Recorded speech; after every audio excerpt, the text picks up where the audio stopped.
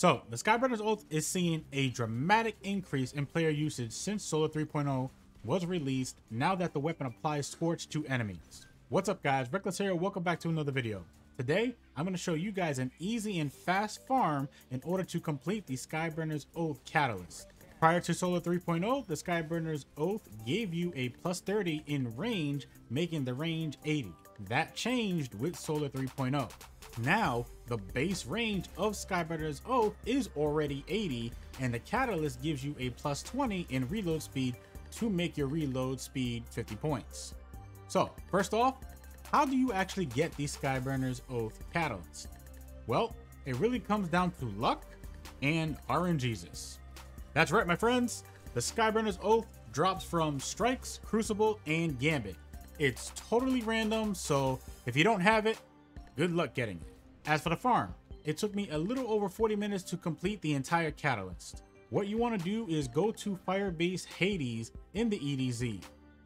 Using the Winding Cove landing zone will be the closest to where you actually want to go.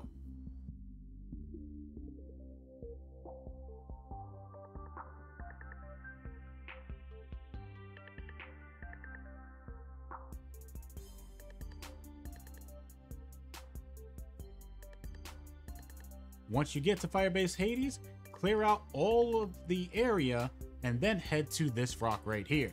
While you are here, clear the area in front of you of all of the Cabal. This will force them to spawn in the door above.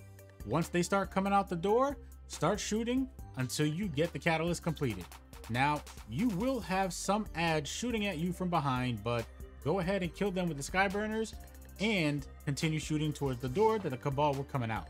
There will also be some interference while doing this. I had two public events start while I was farming, which despawned all of the Cabal. That was very annoying. And then there were times where only Honored Legionaries spawned, but they only spawned one at a time. Again, this was annoying. And then there was the occasional blueberry that wouldn't leave. So yeah, fuck that dude. but I eventually got it done. Many sources have said that in order to complete the catalyst, you need 1000 Cabal kills. I was able to get the catalyst completed at 994 enemies defeated, but I also killed enemies with the Skyburner's Oath that weren't Cabal. I don't know how much truth that 1000 Cabal kills number actually holds. I will be doing an in-depth review on the Skyburners Oath for Solar 3.0, so go ahead and stay tuned. That way you guys don't miss that video.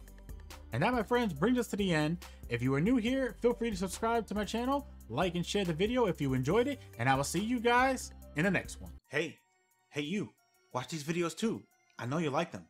Go, go, go, go, go, go.